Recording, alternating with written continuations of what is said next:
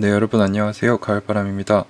오늘은 어, 제 주변 지인 중에 이제 직장인인데 저한테 이제 재테크나 미국 주식 쪽에 물어보고 싶다는 분이 계셔서 한번 모셔봤습니다. 안녕하세요. 예, 안녕하세요. 가을바람 지인 직장인입니다. 네, 어떻게 해서 이 자리에 나오게 되셨죠? 어, 이제 주식에 좀 관심을 갖게 되었는데, 어, 저희 가을바람님께서 한국 주식에 장투를 하는 것보다는 외국 주식에 이제 눈을 돌리는 게 더 좋다는 얘기를 해줘서 그 조언을 듣고자 해서 왔습니다. 네, 어, 그러면은 지금 현재 어떻게 재테크를 하고 계시는지부터 알아야 될 것 같은데, 뭐, 얼마만큼의 돈을 어떻게 투자하고 계시죠, 혹시? 어, 뭐 정확한 금액은 말씀드리기 조금 어렵고 이렇게 두리뭉실하게 말씀드리자면 한 천만 원 선에서 음, 삼성전자랑 음. SK 하이닉스 이 가장 한국에서 제일 큰 시장에 해당되는 두 가지에다가 투자를 했습니다. 절반씩. 음, 그런데 어, 이틀 전인가 이제 갑자기 급 하락을 했죠. 그래서 이제 가을바람님께 어떻게 해야 되는지 물어봤습니다. 음, 그렇다면은 지금 수익률이 어떻게 되시는데요? 수익률은 뭐 아까 말씀드렸다시피 급 하락을 통해서 천만 원 중에 백만 원을 음, 잃은 상태죠. 네, 그래서 제가 이제 얘기를 듣고 추천을 해드렸던 게 한국 시장을 이제 그만 기다리고 더 넓은 미국 시장으로 와라 해서 제가 미국 시장에 왜 투자를 해야 되는지 우선 저번에 영상을 올려드렸었는데 간단하게 다시 보자면 어... 네, 여기 있죠. 한국 주식, 미국 주식 어디에 투자할 것인가 해서 영상을 올려드렸었어요. 그래서 왜 미국 주식에 투자해야 되는지 간단하게 살펴보면은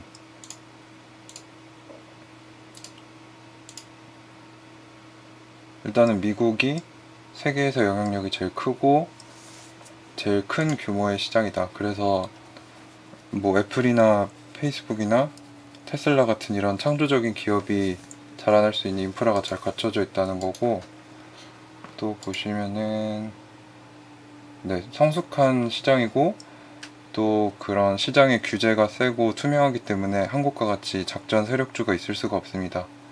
음. 그 만약에 걸린다고 해도 이제 회사 자체를 분해시켜 버리거나 네, 엄청난 징계를 매겨서 뭐 실제로 그 잠깐만요. 여기 보시면은 네, 여기서 보시면 이제 엔론이라는 회사는 1.7조 규모의 분식 회계 이제 회계 정보를 두 개 만들어서 굴리다가 걸려서 회장은 24년 실형을 아직도 살고 있고 파산을 했습니다. 이 정도로 이제 투명한 시장이고 또 무엇보다 달러를 쓴다는 점이 제일 큰데 달러에 대해서는 좀 알고 계신가요?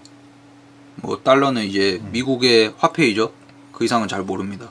네, 이제 달러는 기축 통화예요. 그래서 미국이 원하는 만큼 찍어내면 계속 쓸 수 있는 건데 이제 석유를 구입할 수 있는 유일한 화폐이고 이제 많은 나라들이 안전자산으로 치고 있기 때문에 수요가 항상 높기 때문에 인플레이션 방어에 탁월합니다. 그래서 어, 우리가 만약에 미국 시장에 투자를 하게 된다면 달러를 가지게 되는 거기 때문에 지금 요즘과 같이 코로나 바이러스 때문에 환율이 올라갔을 때 오히려 우리 달러는 그 가치가 올라가기 때문에 네, 환차익을 볼 수 있는 거죠. 그래서 뭐 이- 지금 간단하게 세 개를 말씀드렸는데 이 외에도 여러 가지 이유가 있는데 우선 뭐 제 수익률만 보여드려도 아시겠지만 어 여기는 정확히 잘 안 나오는데 제 수익률이 지금 한 한 달 정도 됐는데 1200만 원 정도의 수익을 보고 있어요. 근데 한국에서는 급등주 아니면 이제 볼 수 없는 수익인데 네 그렇게 수익으로도 결과를 말씀드릴 수 있을 것 같습니다.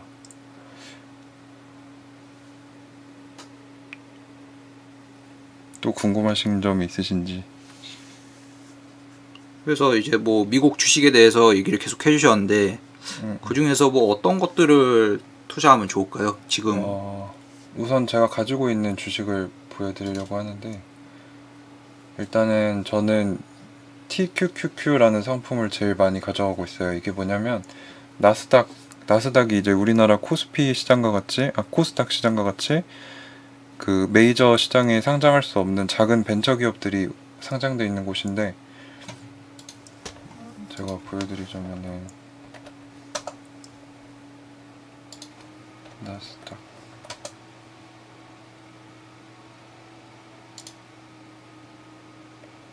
네 이렇게 보시면은 장기적으로 계속 우상향을 그려왔고 오호. 근데 이것에 이제 TQQQ라는 거는 나스닥을 3배로 따라가는 ETF 상품이에요. 그래서 펀드인데 보시면 나스닥이 여기 바닥에 깔려 있죠. 아까도 그렇게 많이 올라가는 것처럼 보였는데 2배 이상 올랐는데 TQQQ는 동일한 기간 동안 10배 이상의 수익률을 보여줍니다. 그래서 저는 미국이 지속적으로 성장하고 우상향할 거라고 생각을 해서 TQQQ를 사놓고 있는 상태이고 어 이제 그 지수를 따라가는 펀드 이외에도 뭐 테슬라 이제 미래가 유망하다고 생각하는 뭐 테슬라, 마이크로소프트, 이제 화이자는 미국 최대의 제약 회사 중에 하나인데 일단 제 1회 시장에서 제 1등들만 뽑아서 투자를 해놨습니다. 그래도 수익이 잘 나오기 때문에 그런데 아까 TQQQ는 제1의 그런 주식은 아니지 않나요? 조금 제 1회 주식은 아닌데 이제 제일 네. 큰 이걸로 한번 봐볼까요? 그 미국의 주요 지수가 세 가지가 있어요. 그래서 보시면은 네 SP500이 이제 스탠다드 푸어사에서 선정한 500개의 우량 기업이고 다우존스는 이제 다우존스에서 선정한 30개의 기업. 나스닥은 이제 벤처 작은 회사들이 올라가 있는 곳인데 예. 여기서 보시면은 또 비교를 할 수 있어요.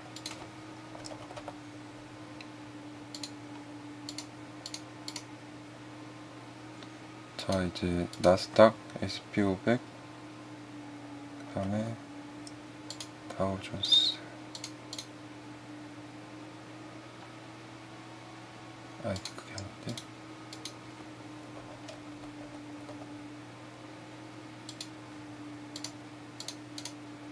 이렇게 보시면은 지금 제일 큰 똑같은 모양을 그리면서 올라가고 있죠. 근데 제일 큰 거는 나스닥입니다. 왜냐면 작은 벤처들이 많기 때문에 비슷한 움직임으로 움직여도 나스닥이 제일 큰 폭으로 성장하고 있어요. 그래서 저는 나스닥에서 나스닥 3배로 따라가는 TQQQ를 사서 수익률을 극대화하는 것이 제 목표입니다.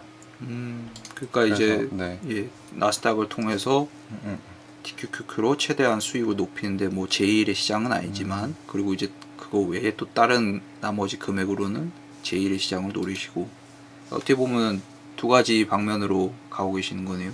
네, 그래서 저는 이런 투자법을 추천을 드려요. 그래서 본인이 주요 지수 중에 하나를 택하시고, 왜냐면 미국은 일단 10월 달까지 트럼프 재선을 위해서 트럼프가 경기를 부양할 것이고, 주가가 떨어지지 않고 지속적으로 우상향할 것이고, 거기에 이제 실제로 미국 연방준비위원회랑 중앙은행에서도 지속적으로 채권을 사들이고 돈을 풀어서 유동성을 올리고 있기 때문에 오를 수밖에 없는 상황이고, 네.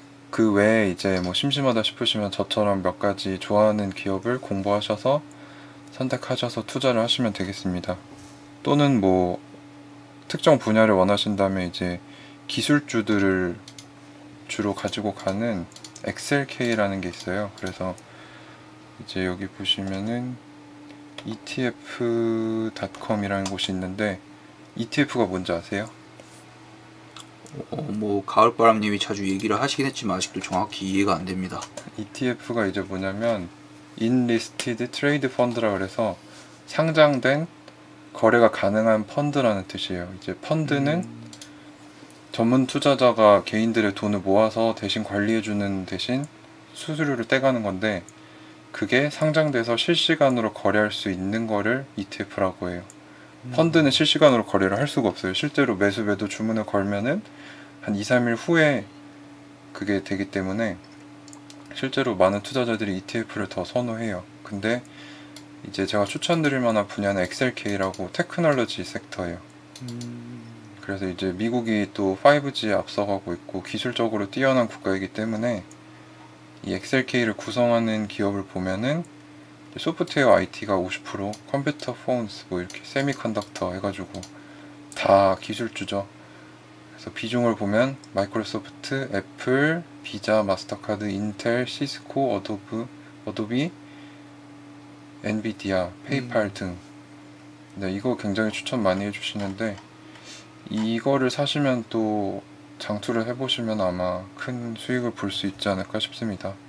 그 참고로 테슬라는 제가 500불대에 들어가서 상관이 없는데 지금 변동성이 너무 크기 때문에 안 들어가시는 거를 추천드립니다. 그러면은 지금 테슬라를 부정하셨는데 네. 어, 요새 또 다른 큰 시장인 중국 쪽에서 마치 테슬라처럼 성장할 수 있는 그런 음. 다른 뭐 추천해 주실 만한 주식이 없을까요? 뭐 여기에도 보시다시피 제가 메이투한 디엠핑이라는 회사를 샀는데 어 이거 보니까 또 오늘 한번 봐볼까요? 지금 보면은 주가 흐름이 굉장히 괜찮아요. 음, 상장된 지 1년 4개월 정도 됐는데 뭐 하는 회사냐면은 제가 실제로 블로그에도 소개를 한번 했어요. 얼마 전에 코로나 바이러스는 기회다라는 주제를 가지고 어.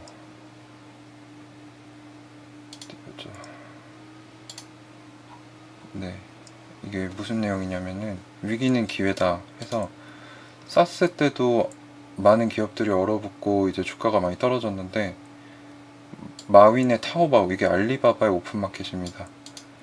전염병으로 인해서 사람들이 밖에 나가지 않고 모든 걸 이제 택배로 시키다 보니까 이런 알리바바 같은 오토 기업이 성장하게 됐던 거예요. 근데 이 제2의 알리바바가 어디냐 찾아봤더니 바로 메이탄 디엔핑이라는 기업이 있습니다. 이게 이제 중국 최대 기업인 알리바바와 텐센트가 합작해서 만든 회사인데 뭐 우리나라판 아니, 대- 배달의 민족의 대륙판이라고 할 수 있어요. 그래서 음. 식을 배달해주는 서비스를 하고 있는데 사용자 수가 4억 명에 가맹점 수만 600만. 역시 그러니까 마치 우리나라의 카카오 같은 곳이죠. 그래서 이걸 기반으로 이제 뭐 예약 정보 리뷰 이런 거 이런 것도 하고 있고 예매 대행 공유 경제를 뭐 주문하고 이런 거 하고 있기 때문에 네 앞으로 무궁무진한 성장성을 가지고 있다고 생각하고 실제로 흑자로 돌아선 거는 이제 2019년 2분기부터 그리고 보시면은 주당 순이익이 예측을 뛰어넘었고 매출도 예측을 뛰어넘는 이런 걸 어닝 서프라이즈라고 하거든요. 실적 서프라이즈. 그래서 이게 이제 2분기째 이어지고 있고 3월 달에 또 이어지면은 주가가 또 네, 이게 발표일이 8월 23일, 11월 21일. 네, 여기 또 한번 띄었죠. 8월 23일 이후에 음, 그리고 11월 21일 여기도 이렇게 띄었네요. 그러니까 이런 식으로 지속적으로 상승을 할 거고 우한 폐렴 때문에 잠깐 떨어졌는데 저는 이렇게 쭉 그리고 올라갈 거라고 생각해서 네, 뭐 테슬라와 산업은 다르지만 중국의 뭐 삼성전자 같이 주도하는 알- 제2의 알리바바가 될 거라고 생각을 해서 구매를 했습니다. 그러게요. 중국의 주식도 정말 주목할 만한 것 같습니다. 네, 그래서 제가 이제 저와 함께 계시는 이분께 추천드리는 방법은 지금 삼성전자 하이닉스에서 한 100만 원 정도 손해라고 하셨는데 지금 한국 시장은 계속 가져가봤자 좋을 게 없다고 생각해요. 왜냐면 코스피를 한번 보면은 어 이거 크게 어떻게 보지?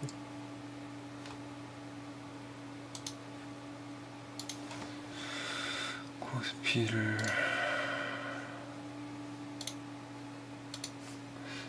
네 지금 당장 바로 찾지 못하겠는데. 코스피는 네 이거 보세요. 3년으로 봐봤자 그, 그 자리에서 그 자리죠. 그러니까 제가 말하고 싶은 거는 외국인 전 세계 투자자들이 봤을 때 코스피는 그저 잡주 중에 하나다. 왜냐면 우리나라도 전쟁 위기를 앞에 두고 있는 기업은 아니지만 나라고 네, 경제가 그렇게 탄탄한 면도 없고 IMF 사태도 실제로 있었고 네, 불안정한 시장이기 때문에 이런 우한폐렴 같은 사태 때는 떨어졌을 때 반등을 기대하기보다 빼서 네, 안전하고 유망한 미국 주식으로 옮기시는 것을 추천드립니다. 그래서 저와 같이 뭐 지수를 추종하는 거 50% 그리고 본인이 공부해봤을 때 마음에 들고 오를 것 같은 주식이 50%, 뭐 또는 이제 해칭이 필요하시다고 하시면은 채권을 사서 채권은 이제 주가가 주식과 반대로 움직이기 때문에 네, 뭐 그렇게 구매를 하시는 전략을 취하시면은 아마 좋은 수익을 거두실 수 있을 것 같습니다. 예, 조언들 감사합니다. 잘 참고해서 한번 외국 주식 투자 선고해 보겠습니다. 네, 한번 매수를 오늘 해보시고 한 한 달 뒤에 뭐 수익이 어떻게 났는지 또는 한국 시장에 그대로 뒀으면 어떻게 됐을지를 한번 분석하는 영상을 후속으로 올리도록 하겠습니다. 네, 감사합니다. 이상으로 영상을 마치도록 하겠습니다. 가을바람이었습니다.